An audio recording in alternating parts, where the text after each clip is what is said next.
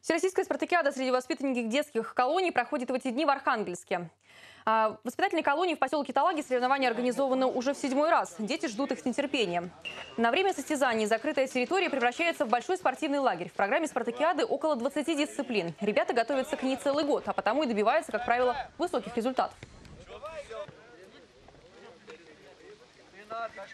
На всероссийском уровне в 2010 году мы заняли первое место среди всех воспитательных колоний. А так, каждый год ряд воспитанников занимает призовые места в отдельных видах спорта. Это отжимание от пола, подтягивание на перекладине и гиревой спорт. Вот в этих у нас направлениях ребята занимали призовые места. Перетягивание каната – одно из самых любимых и эмоциональных состязаний. Каждый из 11 спортсменов стремится помочь своей команде завоевать победу. Еще одна дисциплина – прыжки в длину. Личные результаты суммируются в общекомандном зачете. Кроме того, проводятся состязания по футболу и пионерболу. Это одни из любимых видов спорта у воспитанников колонии.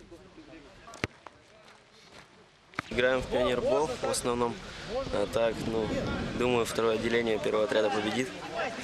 И как бы хорошо, что все здесь собрались поиграть в разные спортивные игры. Сотрудники колонии надеются, что занятия спортом помогут их подопечным встать на путь исправления, и после освобождения они уже больше никогда не окажутся в местах лишения свободы.